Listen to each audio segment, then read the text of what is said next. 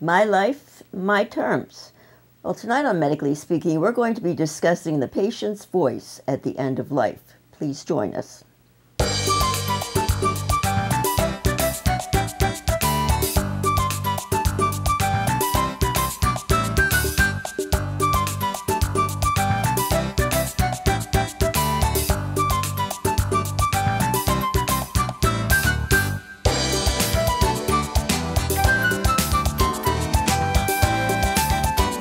Welcome to Medically Speaking. I'm Dr. Catherine Bene, your host for the show. Now, this show is sponsored to you for your good health by York County Medical Society as well as York County Medical Foundation. Roll back to the 1960s when a patient was facing some very critical decisions that involved life sustaining treatments or even medical interventions. Many times they were in such a state that it was very difficult for them to make these decisions. And if the family were to become involved, it was an additional source of stress, uh, tensions, arguments, and what, what we now find is absolutely needless. So tonight we bring back our guest, Dr. Robert Fawcett, who talked to us about exercise several months ago he is a retired family physician who has practiced for over 45 years in our community, and he has dealt with many of these life ending situations. He also serves on the Healthy York Steering Committee. And joining him tonight is Crystal McWilliams, and she has a master's in social work, and she has been involved with Your Life, Your Wishes and is an active member of their board. So, without any further ado, I'd like to welcome both of you to our show. Thank you very much. Thank you. Uh, Dr. Fawcett, we have a new term that has arisen advanced care planning. What is it?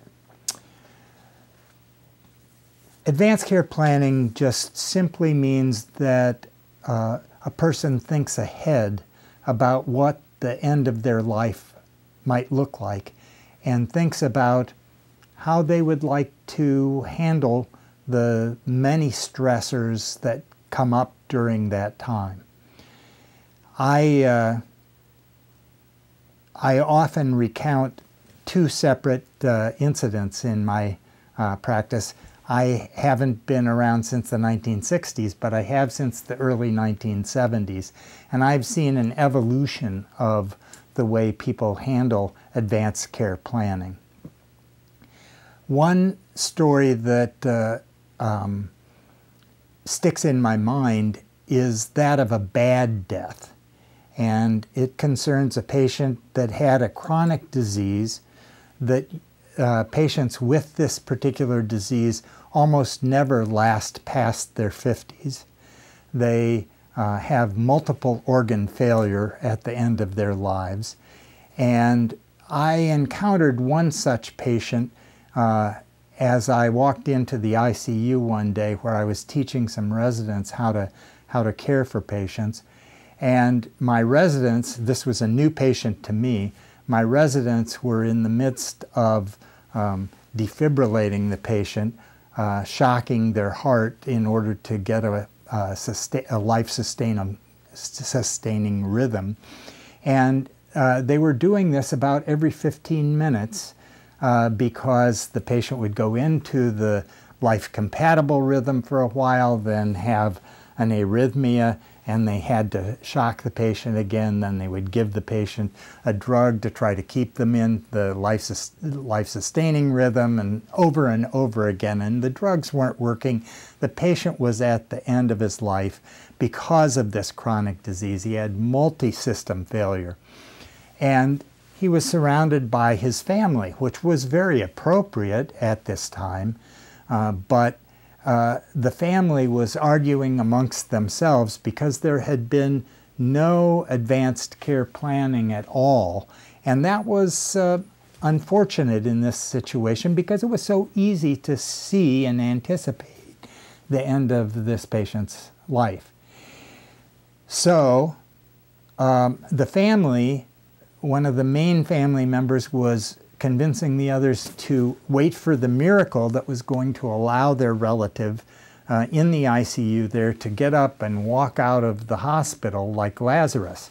And um, I uh, assessed uh, this argument and um, decided that the way to uh, convince them otherwise was to uh, uh, convince them that um, we were on their side and we were waiting for the miracle too. But perhaps since the patient was wincing with every one of these shocks, the patient was demonstrating that it hurt, uh, that perhaps we could forego that and have the miracle happen without my residents shocking them.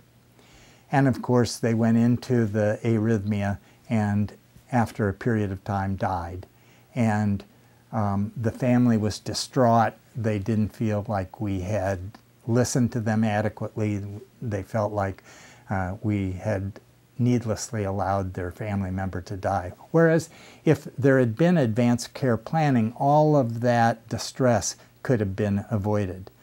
The other story I like to tell uh, is about uh, a uh, Korean War veteran who was my patient for many years. And he went over to Korea, came back with a much younger wife, and after being my patient for 10 to 15 years, began to develop early onset Alzheimer's disease. And so we knew that this was going to be a downhill course. His wife insisted on taking care of him at home, which she did an excellent job of. We met together, we um, anticipated his demise, and talked together about it ahead of time and decided how it was going to be. And um, we agreed that uh, because he was my patient for a long time, she would call me at the end of his life when she thought death was imminent, which she did. And when I walked into the room there uh, with his wife and their son, they were both holding him in their arms as he succumbed to his Alzheimer's disease. It was the most beautiful death I've ever seen. Mm-hmm. I would like to uh, facilitate that sort of death for more of my patients and avoid the recriminations and distress that often surround a family member's death. Do you think, Dr. Fawcett, that this represents an evolution of our thinking? It seems to me that when I went to medical school many years ago, it was almost like a crusade to the end. You do everything you can for everybody until you finally ultimately have to give up? Well, I think it, it has been an evolution both ways. As medicine made many advances and we were able to, uh, you know, intubate patients and keep them alive for longer and give them feeding tubes and perhaps keep them alive for longer. People argue about that. But um, as those things became possible, patients expected to be able to live longer. I think if you turn back the clock 100 years, nobody expected uh, a patient with a, a, potentially terminal illness to ever leave the hospital to begin with. So, Crystal, in your experience, is advanced care planning something that is commonly done? From the start of when I entered into the social work profession and was working in acute hospital care, I have seen more aggressive measures to start having conversations. So I think for a very long time, we often have a saying that in the United States, we're a death defying country. We don't think we're going to die. We're going to try to find ways to, to keep us alive.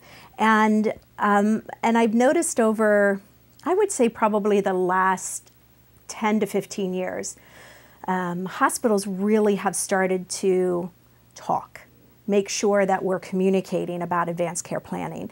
And some of that is because of some of the, the, the passages of regulations that hospitals have to abide by. Um, but I think overall, groups like Your Life, Your Wishes have sprung up and have really wanted to begin to help people have this conversation we we find in our culture, and I can speak for maybe a little bit here in York County, that there is this idea around if we talk about death, we're going to make it happen. We're going to hasten death. Mm-hmm. Um, and so we're trying to help people understand that by planning, that by talking about it, um, you're, you really are giving your family, the person you've chosen as your decision maker, you're giving them a gift. You're giving them a gift because they need to know how you want to die. And mm-hmm. if you don't talk about it, the struggle, the anxiety, the guilt weighs very heavily on that individual. And oftentimes those are the those are the feelings and emotions that, that cause issues within within family systems. Mm-hmm. Do you see any particular barriers stopping people from doing advanced care planning?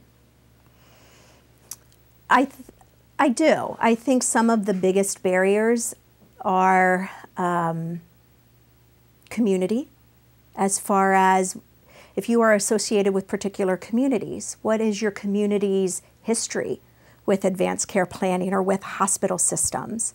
Um, I think that's been something we have really recognized is that there are different groups out there who um, don't want to have that discussion because maybe the history that they've had with health systems, they feel they have not always been treated fairly or correctly. I think that's sometime, uh, sometimes a barrier. I think time in general is a barrier. Um, I think people think expense is a barrier. And all of these things are just in our mind. Um, and we'll talk a little bit about the cost of advanced care planning. We'll talk about some of the, the, the laws that have been passed to help physicians um, get paid to have these conversations. Um, but I think to the point, I think sometimes physicians and healthcare providers might be some of the biggest barriers because maybe they themselves aren't quite ready to give up on their patient. And so, therefore, they don't want to start having those conversations for fear of giving up. Mm-hmm. And I think that's one of the things that I've seen so prevalent within my work in hospital care is the physicians don't want, they think they can fix it or they can make it better. And sometimes um, you know, taking a step back and, and the physician seeing their own, um, or the healthcare provider, I'm not picking on physicians, but healthcare providers sometimes need to see their own fear around having the conversation. Well, Dr. Fawcett, at what age do, do you begin talking to patients about advanced care planning? I think uh, as soon as you're an adult, you should start uh, talking uh, with uh, your physician and your family about advanced care planning because none of us are uh, immune to death. Uh, Crystal's half my age and she could go out and be hit by a car walking across the street uh, and it, it could be a, a problem.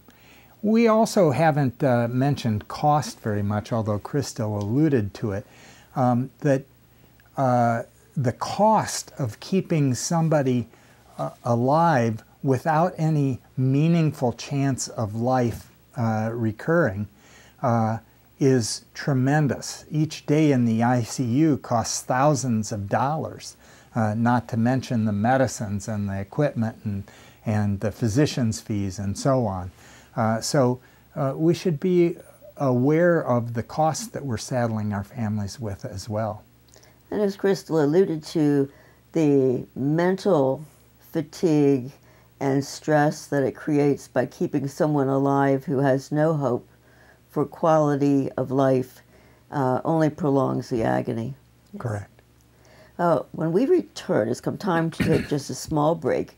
We will discuss the process of advanced care planning, what you need to do to get everything in order. So please stay tuned.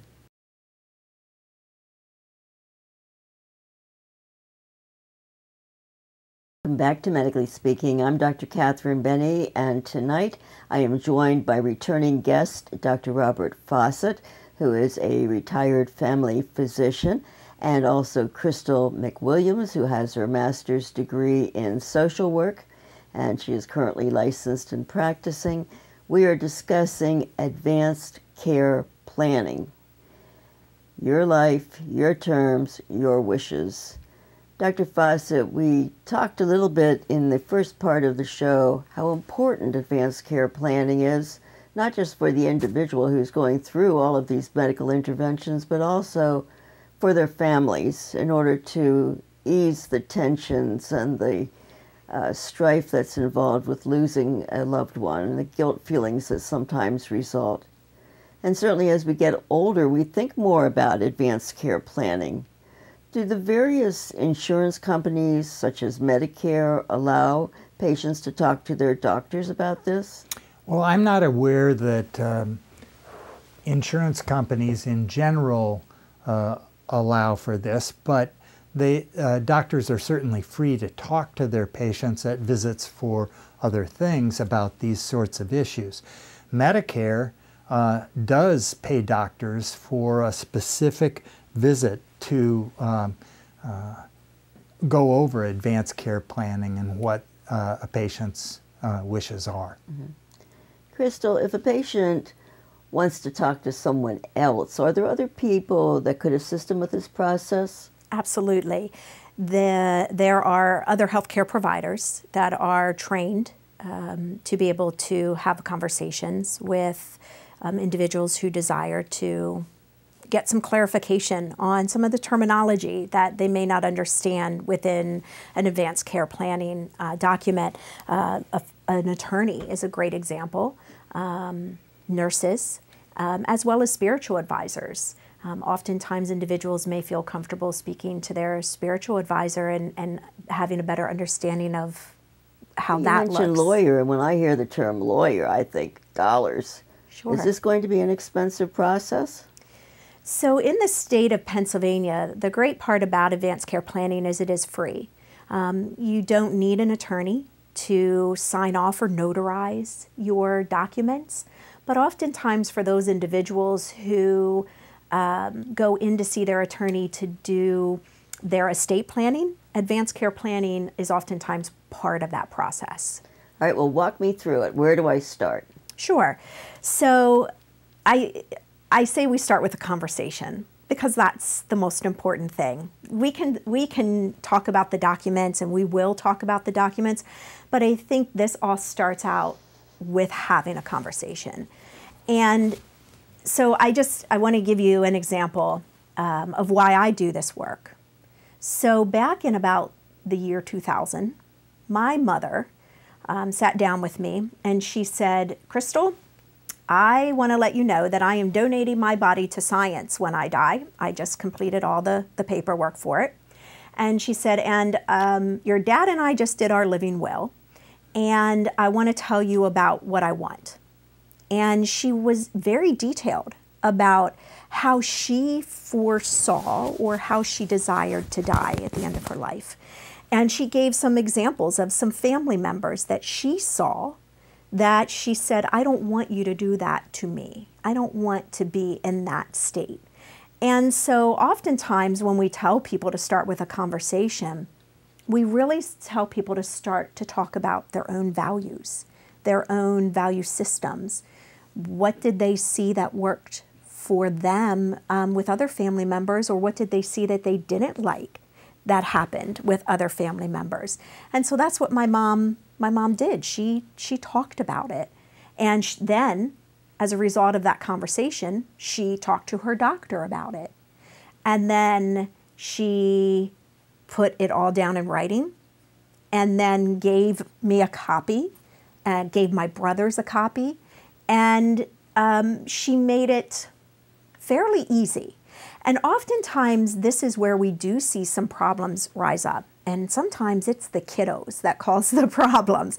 So it would have been very easy for me to look at my mom at that point in time and say, Mom, we're not going to talk about you dying because I'm not comfortable talking about it. We don't like to think about the death of someone that we love. So let's not talk about it. I'm not comfortable talking about it.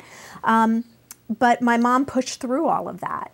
And fast forward to 2009, my mom, no, I'm sorry, it was 2011, um, my mother was diagnosed with Alzheimer's disease. And we watched the progression of this disease take my mother at every step of the way. She was so classic. in how she progressed through her Alzheimer's disease. And at the end of her life, you know, they pushed, she stopped eating. She couldn't eat any longer. And the, the facility wanted to talk about a feeding tube. Well, my mother was very clear on that no feeding tubes. And so I had to be her advocate for that and say, no, we're not going to do that. But can you imagine those family members that don't have that knowledge and don't have that information? Um, and so that's why we say this has to start with a conversation. You have to identify the person who will be your voice when you don't have one.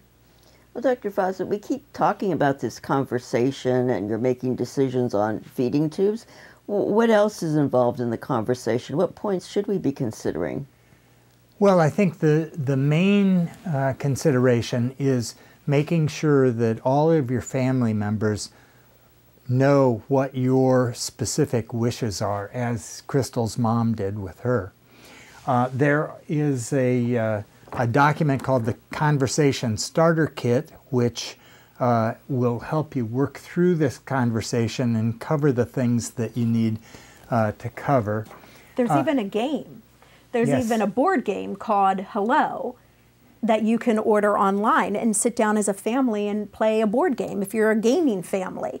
Um, and I think, too, it's important for us to note that when we use the term family, it's the family that the individual identifies. So it could be a friend, it could be a relative, it could be their immediate biological or non biological um, people. So You'll get the game board online, but this other document, where there there are other documents that uh, you can use too. Five Wishes covers some of the more uh, touchy feely uh, issues. Do you want music to be playing at the end? What music do you want?